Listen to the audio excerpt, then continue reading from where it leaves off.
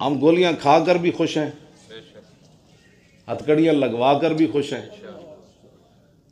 और चार हज़ार सात सौ अठतीस साल सजा सुनकर भी खुश हैं।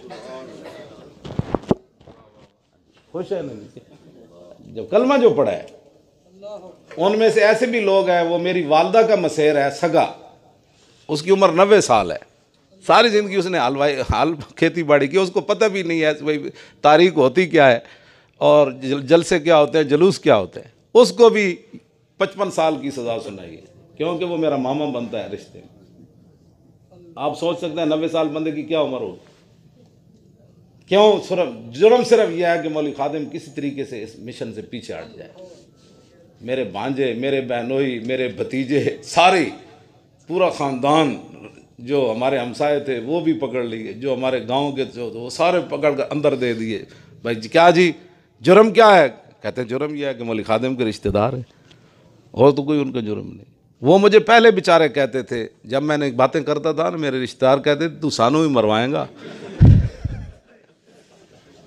ये कहते सन सारे ਸਾਰੇ ਮੈਂ ਕਹਿੰਦੇ ਆ ਜਿਹੜੀ ਤੂੰ ਗੱਲਾਂ ਕਰਨਾ ਤੂੰ ਮਰਵਾਏਗਾ ਸਾਨੂੰ ਹੀ ਮੈਂ ਉਹਨਾਂ ਨੂੰ ਕਹਿੰਦਾ ਸੀ ਮੈਂ ਕਿ ਯਾਰ ਤੁਸੀਂ ਕਹਿ ਦੇਣਾ ਵੇ ਲਾਹੌਰ ਗਏ ਸੀ ਪੜਨ ਪਤਾ नहीं किधर गुम हो गया साडा रिश्तेदार तो है ही कोई नहीं लाहौर मैं उनको ये बात कहता था, मैंने कहा, आप बिल्कुल परेशान हो। आप कह देना मैं मैं भाई को भी कहता था, आप कह देना मैं, मेरा भाई गुम हो गया था पता बचपन से। हम तो जानते ही नहीं है उसको कौन है वो।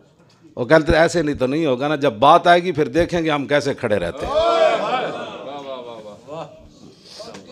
हाँ और बूढ़ों को भी मिलकर आया मेरा बेटा। वो कहने लगे, उनको मौलाना को कहना परेशान नहीं होना।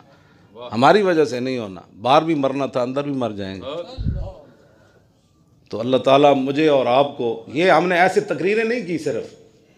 अमलन भी मैं वहाँ बैठ कर आया जेल में, हालाँकि मैं दस मिनट नीचे बैठूँ तो मेरी कमर जवाब दे जाती है, क्योंकि रीढ़ की हड्डी का मेरा मसला है।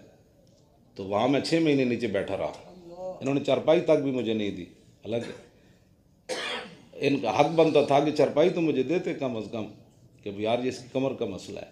लेकिन मैं नीचे कैसे बैठा रहा? बंदा सोच सकता है रीढ़ की एक ही जगह पर बैठा रहा।